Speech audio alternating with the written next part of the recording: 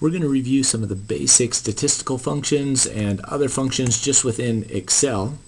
Um, and so we open up Excel and open up a blank workbook. Uh, and what I'll do is just create some data that we can work with. Okay, so I'll just say that this is an item and then this is our number associated with that item and I'll come up with a list between uh, 1 and 10 okay so we'll just go up to 10 items and drag that down. You'll see auto increment when you drag this little square in the bottom right. And then on the number on the uh, on the right let's just do this as RAND and then open parenthesis and close parenthesis. Okay and that's going to create a random number. And then when I double click this box uh, when it turns to a black uh, you know cross arrow there I'm just going to drag uh, double click that uh, left click and it fills down uh, to the same uh, number of rows as my as the one that's to the left of it okay so I have my um, item and the number and let's say I want to do just some basic statistics on this okay it's just some average, mean, max, min, uh, that types of that type of thing. So I'm going to do um, average, uh, and I'll do max and min.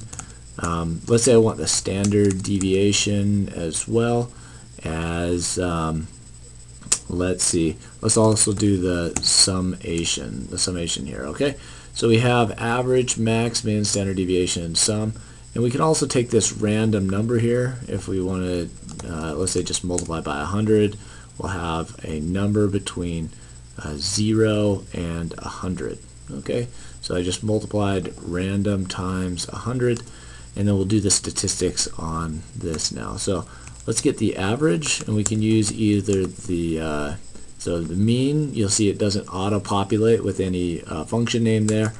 Uh, if you have a hard time finding the function name, you can just select this little um, fx here, insert function, um, and then you can look for some of the most recently used, for example, or you want you can uh, type uh, to get a little bit of help here. Okay, so the mean value, let's see if that comes up with uh, with anything. Um, okay, I think I saw average in there. Okay, so you can find it. Um, you can find it through this insert function uh, help. Okay, so I'll go ahead and just do uh, this, the number, okay, so B2 to B, B12, uh, okay, and or you, if it didn't get it quite right, you can select it uh, yourself. Okay, so I'll go to B11 and then click OK. Okay, so our average is 48.7. Um, and every time I update this sheet, um, for example, if I click enter here, it's going to change all of the numbers. Now the average is 68. Okay, but um, with the random number generator, it's going to vary, but um, on average, it'll if you have enough numbers, it'll come out to about 50. Okay, so let's go max now. Uh, same thing as average. Uh, and in this case, I'm going to just use my keyboard to select the region instead of the mouse. So I'm going to go to either the top or the bottom and then hold down the shift key. And if you click the down arrow, you'll see that it starts to increment that. Okay, or you can also hold the, the control key in addition to holding the shift key and then press down and it will select uh, the whole region. We'll go down to the next blank cell just right above that. Okay, and then close the parenthesis and there you have your uh, maximum number. Okay, and let's go and do the minimum number as well. Okay, so here's the minimum number. And if you went too far, uh, you don't want to include the header, for example, just hold the shift key down and then push the down key, down arrow, and uh, it'll take one off the top. Okay, and then close parenthesis, and let's do the standard deviation as well. Okay, so we have the standard deviation. Um, and then the summation summing all of these numbers up okay and then uh, let's say I want to just count how many numbers there are um, I'll use the count function okay and if I have something um, let's say an x in here, for example, it isn't going to count that. Okay, so I can push uh, Control Z and undo that, and then I'm back to 10. So it only counts the numeric values, uh, not uh, the, the uh, non-numeric values or blanks in there. Okay, and then uh, I can get my average, for example. Um, here's another way to get the average is going to be the summation uh, divided by the count. Okay, and then you can see that the average and this number um, are equal.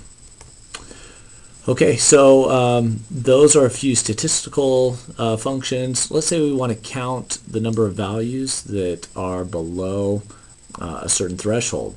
Okay, so um, let's say uh, we have, we don't want to just count all the numbers, but we want to count the number of values that are below 50. Okay, so count um, if less than 50.